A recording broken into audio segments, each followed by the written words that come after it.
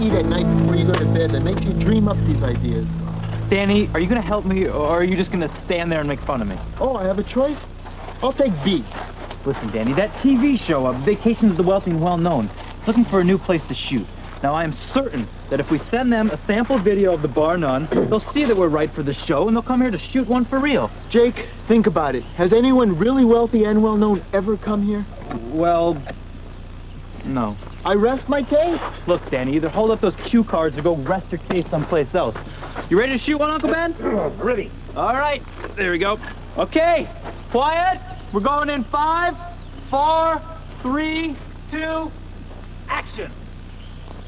Good afternoon. It's another glorious day here at the plush and fabulous Bar None Ranch. I am Benjamin Ernst of the New Jersey Ernst, and if I could say only one thing to you, it would be... Flip it. That's a funny choice, Uncle Ben. No, the card. Flip the card, Danny. Come on. Oh, sorry. Okay. Uh, there, it would be... Are we rolling? Action. It would be there's nothing like breathing in the fresh, clean, plush, fabulous Bar None air. Many's the morning we hear our fabulously wealthy guests exclaiming, Whoa, the stuff reeks. How long do you think it's been dead? Cut! Cut! Cut! We're shooting a TV show here. All right, one more time from the top. Action. Good afternoon. It's another glow. Ah! I- Oh! Ah! Jake!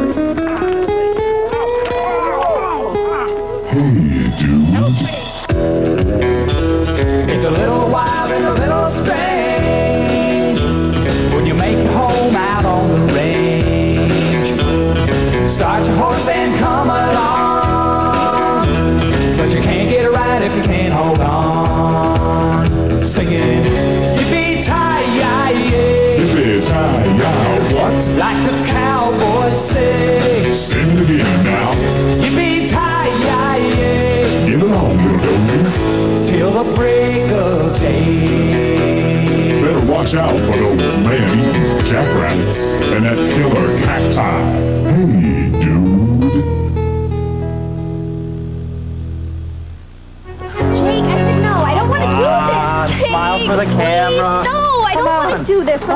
right? scrunch go your nose away. like that. Come on, come on. Jake, go away. Come on. Down, boy. Be a sport. Be a sport. Just want Mel to just pretend she's some rich guest staying at the Bar None and tell about some other great vacation she went on. People always do that on vacations of the wealthy and well-known. Jake, if I was a rich guest, would I be wearing this? Oh, and I hardly think that taking long family trips in the station wagon, playing count the out-of-state license plates would qualify. How about you, Danny? Jake, you know how I feel about this video. Besides, my agent said no. Mel, oh, I'll do please. Oh, you will? Ted, your family takes great trips? No, but unlike you guys, I have an imagination. Get that camera ready for my big entrance. All right. Jake. Focus. No. Shh. Jake. Okay. And we are rolling. Ah, Ted McGriff here. Bachelor, man about town, world traveler, and rich. Ah. Very rich. Yes, my family came over here on the Mayflower. Mom said she got very seasick. Ted, let's move it along. Come on.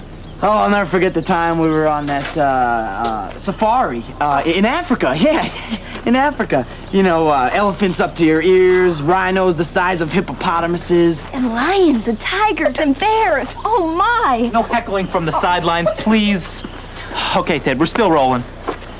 Well, now, what was I saying? Now, look, you made me lose my train of thought. Ted, I think that train derailed a long time ago. Oh, Brad, perfect. Okay, uh, tell the little camera here about your most memorable vacation, please. Jake, can't you get someone else to do this? Yeah, I tried, and they failed me. You're in. Okay, okay, let me think.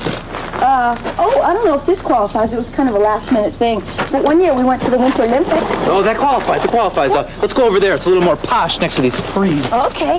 Uh, oh, you should have seen the view from the helicopter. And the Swedish guys, their team slogan translated to one hunkier than the next.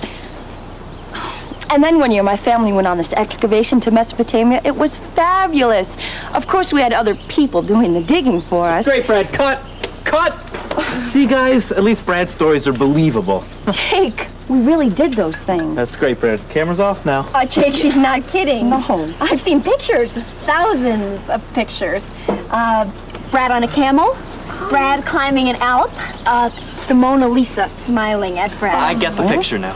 Oh, by the way, Brad, uh, while I was working the front desk, your parents called. They want you to call them back. Oh, okay. Whenever. Hey, have you heard the expression, how the other half lives? Haven't you figured it out yet, Jake? Brad is the other half. Yeah, who else gets a beautiful horse from her parents, gives it away, and then gets another beautiful horse from them to replace the first one? You mean besides Brad? Uh, who else? That's my point, Ted. No one else. Oh, you guys, would you give me a break, please? Brad, you've already gotten every break imaginable. Danny, not even you could spoil my good mood. It's my day off.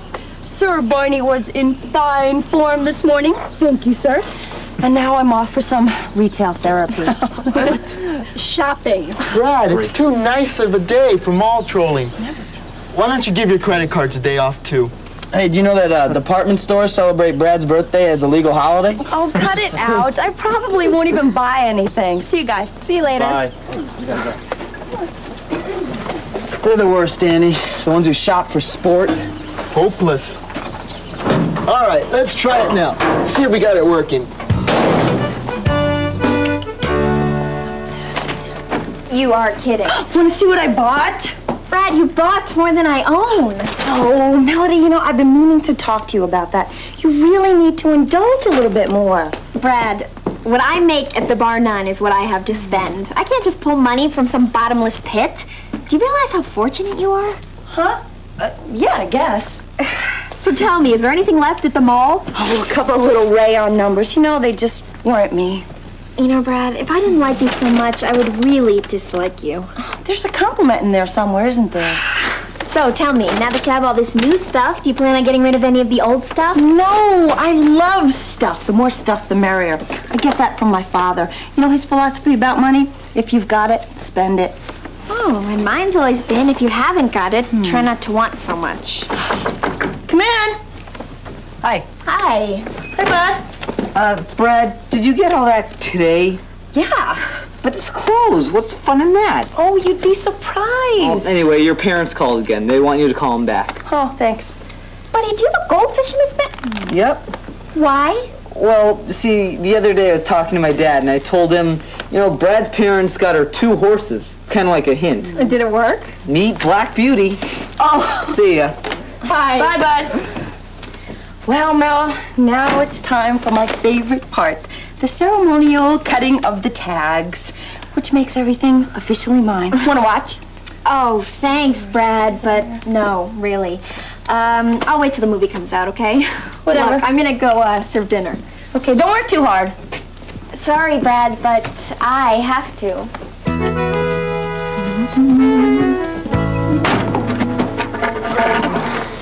Well, guys, my plan to make us all wealthy and well-known is going down the toilet fast. Why doesn't anybody rich stay at the bar none?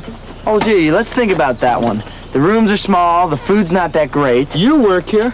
Thanks a lot, pal. Oh, good, there's Brad I've been looking for. I gotta give her something. Ted, she already has everything. Hey, dudes! Hi, Brad. Hey, Brad. Oh, Brad!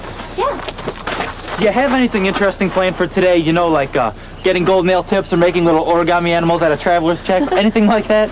Why, Jake? I need to make it look like there's something high class going on at the bar none. And once again, you seem to be my only hope. I don't know. Why don't you just follow me around for a while? We'll see what happens. Oh, please. Oh, cut it out, you guys. You're just jealous. Okay, all right, I'll admit, I wouldn't mind if my parents signed me up for the Horse of the Month Club, too. But other than that, you can keep it all. I will, Dan. Oh, Brad, before I forget, you got this telegram. Oh, great. You know, three of my friends are traveling around the world this summer. I bet it's from them. Well, hold it, hold it. Okay, this will be great for the video. Opening a telegram is a high class thing. Okay, uh, just let me focus. Thanks, Brad. I knew you'd bail me out here. Okay.